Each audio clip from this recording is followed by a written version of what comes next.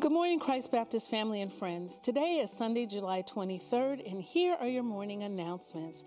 Our true superhero, Alpha and Omega, the beginning and the end, we truly praise God for VBS this year. At VBS, the gospel was shared, fun was had, prayers were answered, and lives were blessed.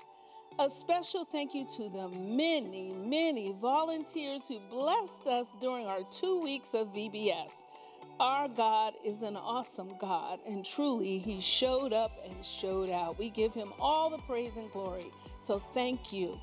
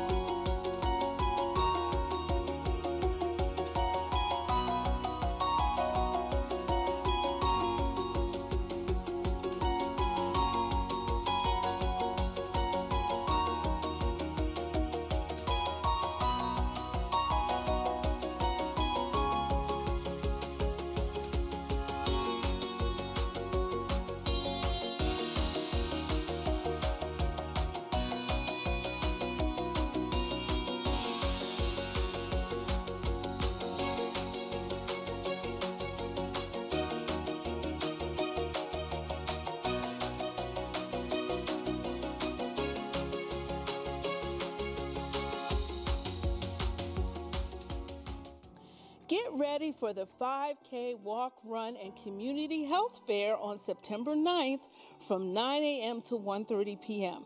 This event is free for all ages and is open to the public. You, you can register in the upper room after service or on the website for the 5K Walk Run. Remember, improve your health improve your life. Free cancer screenings will be held at CBC on Tuesday, August 15th, starting at 9 a.m. Space is limited. To register, you can email or call the number that is on the screen. 828 will be hosting a field day this August. The day will consist of games, food, and fun. More information will be announced soon. A reminder to all auxiliaries and groups when planning events that will take place at the church. You must complete a ministry activity form, and after approval, it will be placed on the church calendar. For those interested in volunteering in the feeding ministry, please see Sister Joyce Paul or contact the church office. Volunteers are asked to pick a date and a time. Available days are Monday, Thursday, and Saturday from 12 to 2 p.m. Connect with us. For those who are attending in person, ask an usher for a Connect card. We want to connect with you. You can connect with us through Instagram, Twitter, and Facebook. You can also subscribe to our YouTube channel. So that's all our announcements for today. Each week we say, let's get ready to worship. But we really hope that you've already started to begin to begin to worship God before you come online or be, before you come in service. Because truly when we open our eyes in the morning, we should start worshiping God for waking us up. So come on and continue to worship our Lord and Savior Jesus Christ with us this morning. It is good to be here. I'd like to first give all honor and glory and power and, and just praise to our Heavenly Father. I thank Him for who He is, and He's worthy of all the honor. I'd like to also acknowledge Pastor Bogan and Sister Deb and as they're away on their vacation and, and honor all of you too because it is a privilege to be able to stand before you today. Pastor Bogan was with us all through Vacation Bible School. Virtually every night he was there. He missed the last night. I believe, they started their um, vacation. But he was there preaching and teaching and praying and whatever was needed, he was there encouraging us. But he wasn't by himself. Over 60 of you were there as well. And we just praise the Lord. Even when we went off site, when we went to St. Mary's in Burlington City, when we went to Edgewater Park, about 20 of you still journeyed on with us and took, went that extra mile. And we're just grateful for each one that was able to go. So we thank you. Before we begin the message for today, please join me in a brief word of prayer. Heavenly Father, we just thank you for who you are. We thank you for your plans and your purposes. We thank you, Lord, that you've given us your word. We, we thank you that you've given us your Holy Spirit. We thank you, Lord, for the listening ear, for the believing heart. We pray, Lord, that something that is said during your word, during your message, will speak to someone's heart in a profound way. We're praying that you'll give them a thought, a reminder, a seed, a nugget. We're praying that they will leave here, as Minister Paul says, changed, different than when they came in. We're praying from the pulpit to the door that you'll bless your word. Hide me behind the cross that you might be seen. Bless me to decrease that you might increase. Be glorified. And for that one that doesn't know you in the pardoning of their sin, help them to come to know you today. In Jesus' name, we say hallelujah. Bless your word, Lord. Amen. Amen. Amen. Our text for today is coming from Acts chapter 6, verses 1 through 8. Acts chapter 6, verses 1 through 8. And I'll be reading from the New King James Version. Now, in those days, when the number of the disciples was multiplying, there arose a complaint against the Hebrews by the Hellenists because their widows were neglected in the daily distribution. Then the twelve summoned the multitude of the disciples and said, It is not desirable that we should leave the word of God and serve tables. Therefore, brethren, seek out from among you seven men of good reputation, full of the Holy Spirit and wisdom, whom we may appoint over this business. But we will give ourselves continually to prayer and to the ministry of the word. And the saying pleased the whole multitude, and they chose Stephen, a man full of faith and the Holy Spirit, and Philip, Prochorus, Nicanor, Timon, and Parmenas, and Nicholas, a proselyte from Antioch, whom they had set before, whom they set before the apostles. And when they had prayed, they laid hands on them. Then the word of God spread and the number of the disciples multiplied greatly in Jerusalem. And a great many of the priests were obedient to the faith. And Stephen, full of faith and power, did great wonders and signs among the people. Amen, amen, amen. Today's title is simply Chosen to Serve. I believe that God is looking for men and women boys and girls whose hearts are firmly fixed on Him and who will continually trust Him for all that He desires to do in their lives. And that God is ready to work more powerfully than ever through His people. And the time is now to position ourselves that we might be used by Him. So, how does God choose people to serve, you might ask. Well, I believe that God chooses not perhaps as others choose based on outward appearance or family background or social standing, but rather He chooses people just like those in here today among us ordinary people. Ordinary people who, with the power of the Holy Spirit, can do extraordinary things. Remember, as believers, God has called and chosen us. All that is left for us to do is to accept our assignment, which God has chosen for us, be willing to get equipped, meet God's standards, and then go. The book of Acts emphasizes the work of the Holy Spirit in the lives of Christ's followers. It tells how the Christian church was built through the dynamic power, that dunamis power of the Holy Spirit, working through chosen vessels. Acts begins at the same place where the gospel, according to Luke chapter 24, ends. That is, with the ascension of Jesus, the going back to heaven of Jesus. Those disciples and others watched the powerful events of the resurrection and ascension of Jesus.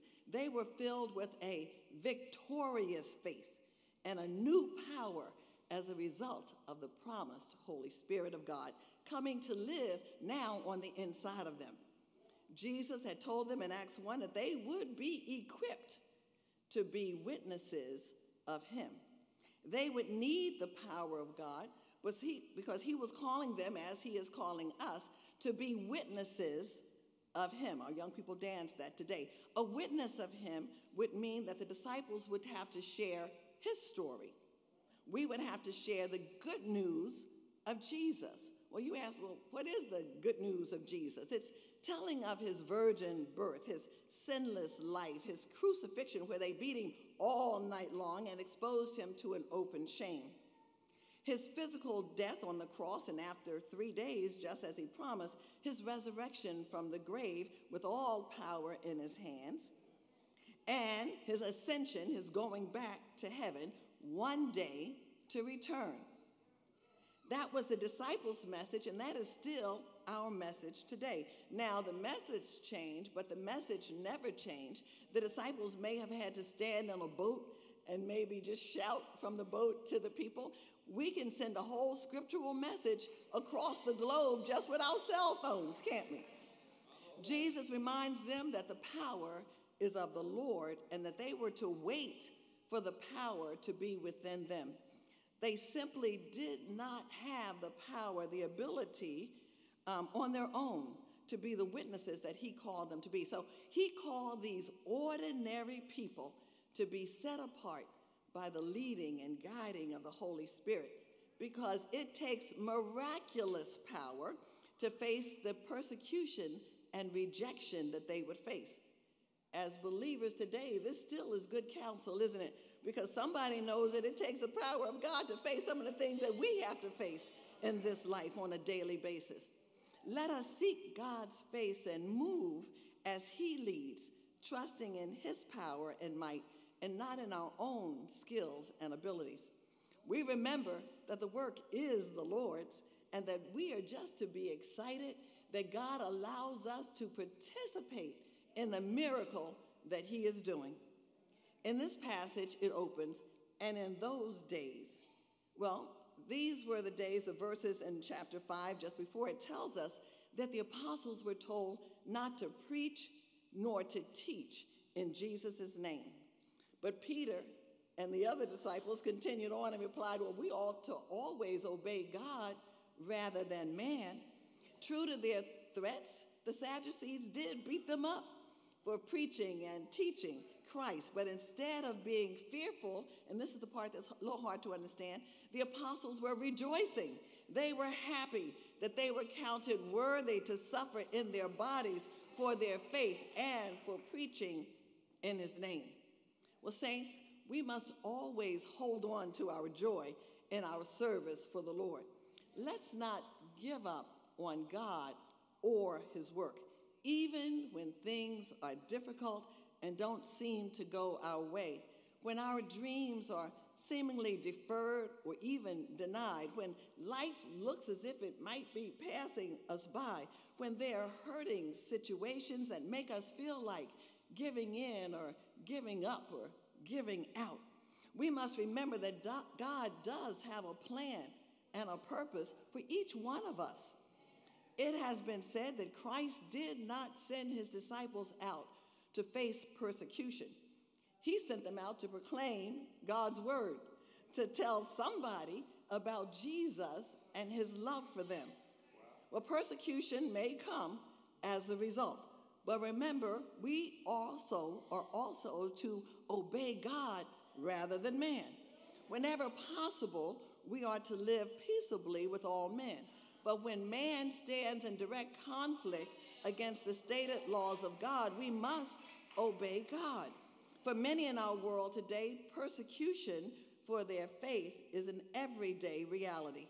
As part of the family of God, we are to pray one for another and to help when we can and where we can. Even seeing what the early church was seeing, the Holy Spirit was still drawing men and women, boys and girls unto himself. Yes, it was a time of great fear, but it was also a time of great grace. They tell us that the number of the disciples was growing, actually multiplying, that they were convinced that this was the way, that they had found the truth and the life, and that his name was Jesus. They had found something that no amount of threatenings or bullyings or beatings could cause these men of faith to deny.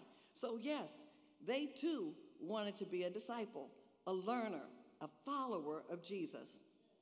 So, a disciple of Christ believes his teacher's doctrine, rests in his sacrifice, and is indwelt with and drinks in of the Holy Spirit. He also imitates his teacher's example. As disciples, we are to learn from what Jesus taught and did and grow to be more like him. The Jews considered themselves to be disciples of Moses, and that's what caused a problem between them and the Christians.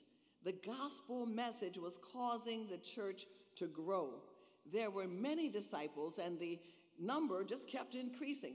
Well, we're hoping that God will do that same thing right here at Christ Baptist one day, and somebody knows that it is possible because God is able. Interestingly, after the book of Acts, the word disciple is not used again at all in the New Testament. During Jesus' time on earth, the title disciple referred more to his followers' relationship to him. But after his ascension, after he went back to heaven, after his departure, the words the followers used um, was more of a relationship to one another. Therefore, you find the word brethren or you find the word saint. Verse 1 tells us that in the days when the disciples were multiplied, there arose a murmuring. Well, you know what a murmur is, don't you? It almost sounds like the way it is written murmur, murmur, murmur, murmur. It's a low sound of displeasure or discontent. It's not spoken loudly enough or clearly enough to be well understood, but it catches your attention that somebody is not happy. Well, with great growth or increase comes great challenges sometimes. Problems and complaints occurred from without the church and from within the church. So when we hosted just one week of vacation Bible school here at the church, we had certain expected expenses. But when we went to that second week, we were now at two different locations. We didn't know how many people to prepare for, and the expenses multiplied. This particular issue was that it was the responsibility of the church to provide for widows indeed, or the poor, or the disabled that did not have family members that could take care of them, or that they couldn't take care of themselves. So within the first church, there were Greek speaking Jews, known as Hellenistic Jews, and Hebrews who spoke Aramaic. Well, this verse points to a rift between the two sections of the church. The Hellenistic Jews felt their widows were being neglected, not getting the same treatment or allotment as the Hebrew Jews' widows were, and they were upset about it, which is the reason for the murmuring. Perhaps your widows got more food or clothing allotment or money than our widows did. So initially, it may have been only 20 widows in the congregation. But as the church kept growing and multiplying, now maybe it was 40 widows or 60 or even 100 or more. So the apostles had a major decision to make ignore the complaining or ask for wisdom from God to come up with a solution that may be fair to all and that would strengthen the church. The 12 could have been what some would have thought to be super spiritual and say, well, okay, we'll sacrifice ourselves and add a little something else to the overfull plate that we already have, and we'll do it. We'll feed the widows ourselves. But instead, being full of wisdom and with the leading of the Holy Spirit, they called the congregation together and said that it was not reason for them to leave the Word of God and go serve tables. Now, they were not saying that serving tables was beneath them, it wasn't. They just recognized their specific assignment and the roles that they were to play in the plan of God at that time. So that there would not even be a hint of favoritism or prejudice, they made a Solomonic decision. In verse 3, they told the congregation to choose from among themselves. Listen to what the requirements were seven men of honest report, full of the Holy Ghost and wisdom. And then they would appoint them over that business. So, what benefit would it have to be to the congregation to choose these officers? Largely, that as the congregation possibly knew the individual even better than the disciples. You see, they lived among them, and that makes a difference. They saw them when they were hungry. Sometimes we're different people when we're hungry. They saw them when they were hungry, they were tired, they were angry. They knew them as well as it is to know another person. So, what was the result of this decision? The apostles laid their hands on the seven chosen men, commissioned them to serve, and the number of the disciples multiplied greatly. The word was spread, the needs of the congregation was met, and a great company, even a religious priest, came to believe that Jesus really was the long awaited Messiah, the source of eternal salvation. So they chose the way of faith. Three quick thoughts. One, what does it mean to be of honest report? Two, how do we become full of the Holy Spirit? And three, what is wisdom? So, to be of honest report, King James says honest report, means that we have a good reputation among others, that they are considered honorable, well respected, true to your word. Who they see on Sunday as the same person that they see on Tuesday or Saturday night or at school with your friends. So these men were chosen because they had an honest report. So, how do we power up and be full of the Holy Spirit? Well, our vacation Bible school t shirts that I've worn every day for the last nine days um, shared with us about praying, trusting God, studying His Word, believing it, believing His promises, obeying God's Word, and yielding our own way to God's way. We are to confess any known sins, be forgiven. We are to trust that He is who he said he is. So when we sing or dance that he's Jehovah, Jehovah Jireh, we have to really trust that he really is. So what is wisdom? Simply put, it is the proper application of knowledge, not just having knowledge for knowledge's sake. Book smart, but no wisdom and sometimes no common sense. The Bible teaches us that wisdom comes from above. It begins with the fear of the Lord. Wisdom is the soundness of an action or decision with regards to the application of experience, knowledge, and good judgment. judgment. When many of us were young, we probably thought that we knew more than our parents or our teachers. But as time went on, we realized that we did not know all that we needed to know. We made some mistakes. And hopefully, we learn from those mistakes and would make different choices now. Thank God we have an advocate that intercedes for us when we've sinned. And if we confess our sin, he's faithful and just to forgive us our sin and to cleanse us from all unrighteousness. James 3 15 to 17 tells us that wisdom from above is different from man's earthly, unspiritual, even demonic wisdom where jealousy and selfish ambition exist. The wisdom from above is first pure, then peaceable, gentle, and willing to yield, full of mercy and good fruits, without partiality and without hypocrisy. Stephen was singled out in verse 8 as being full of faith and power, doing great wonders and signs among the people. It's been said that there are three levels of faith in the Christian experience. Level one is that we believe only when we see some sign or have strong emotions or feelings that things are going to work out. The second level believes even when all feelings are absent. I don't feel it, but I'm going to believe anyway. And the third level goes beyond the first two because it believes in God and His Word, even when circumstances and all else emotions, appearances, people, and human reason all seem to urge something to the contrary.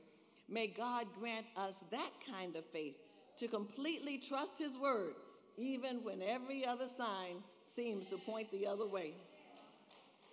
I believe that God would have each believer give themselves to prayer and the ministry of the Word, not just the Wednesday night prayer warriors, the deacons, or the ministerial staff. 1 Peter 2 5 tells us that Christ has made us a priesthood of believers. And if we can no longer go to the nursing home or serve at the feed ministry or go to the prisons, well, we can still pray. We can still share Christ with those in our own home or go across the street or call someone or send a card, as Sister Joyce mentioned. We are to learn as much of God's word as we can and then speak it, study it, love it, lift it, and set it free we can, once it's set in motion, God's word can do some great things. Every believer has been chosen to serve in some capacity. Everyone's not going to be in the same capacity. I urge you to give yourselves continually to prayer and the ministry of the word and do whatever it is that God reveals for you to do for the upbuilding of his kingdom. 1 Corinthians 12 reminds us that there are diversities of gifts in the body of Christ, and we will not all do the same thing. In our recent vacation Bible school, I saw this right in front of me, held over the last two weeks. It took all of our va- various gifts. Some beautifully decorated the hallways, while others set up tents and loaded the trucks with tables and chairs. Some taught the adults, while others taught the children and had them decorate capes and do craft or science projects. Others encouraged attendees to power up with Jesus and prayed with anybody that walked by and requested prayer. Some sang, played music, set up AV equipment, flew drones, took photos, created videos. Others made announcements, ran off and distributed flyers, flyers and sign in sheets. Some of them wrote checks and paid our bills with your offerings took registration, made sandwiches, or handed out bag lunches, coupons, and candy. Some monitored the parking lot and building, while others monitored us for heat exhaustion and cleaned up scrapes and bruises and loose baby teeth. Others organized or supervised fun games. Some donated coupons for brand new sneakers, while others donated freely over 100 new backpacks with school supplies. Some, hallelujah, some preach the word of God, stressing that God is greater than anything or anyone, and that Jesus, the Alpha and Omega, is our real superhero. Amen. Decisions for Christ were made, lives were forever changed. Thank you, one and all, for serving Christ by serving others. In closing, remember you have been chosen to serve. So let's all accept our individual assignments. Let us get equipped and go. To God be the glory, great things He has done and is yet doing. Thank you, Lord.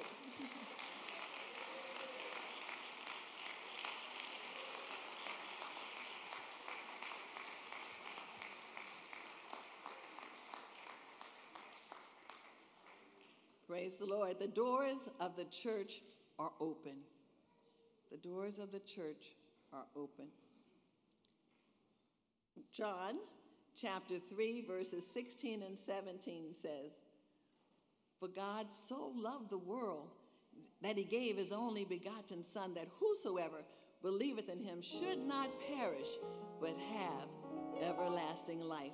John 3:17 says, "For God sent not his son into the world to condemn the world, but that the world through him might be saved."